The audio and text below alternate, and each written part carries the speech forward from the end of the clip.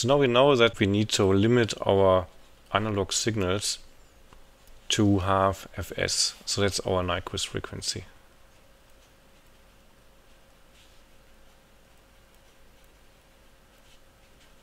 Yeah, so we need to limit our analog frequencies to that. So how do we do this? So the simplest way, or, or probably the most intuitive way, is using a low-pass filter in front of our AD converter. So that's our analog signal.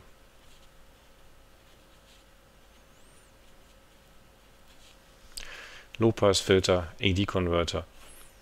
And so obviously the frequency response of our low-pass filter if this is fs half here, needs to be like this, that the frequency response of our low pass filter goes down before it hits fs half. So that's our h of omega here, our response, and that's omega.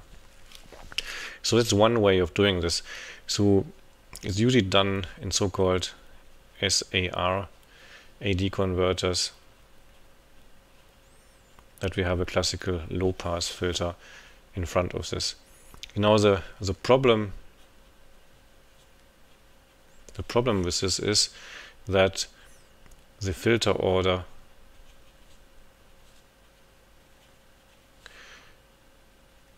is very high or needs to be very high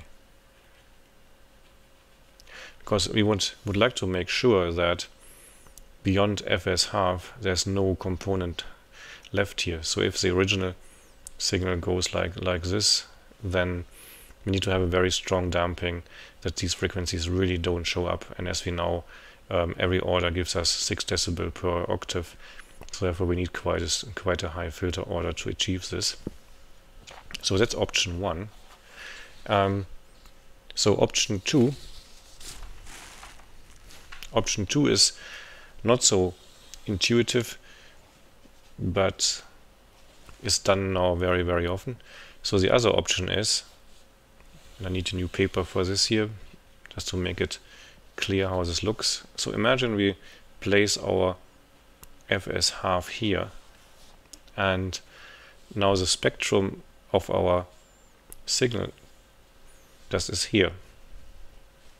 So then obviously, if we do this like this, then we don't need any any anti-alias filtering here, or because the spectrum of our signal is never reaching fs half.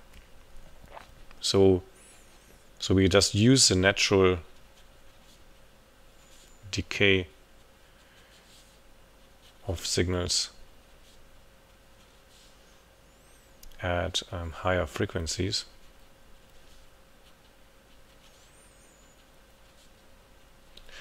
So for example, in audio, there's virtually nothing above 20 kilohertz. So if we if we set fs, for example, to 1 megahertz, then obviously we don't need any anti-alias filtering.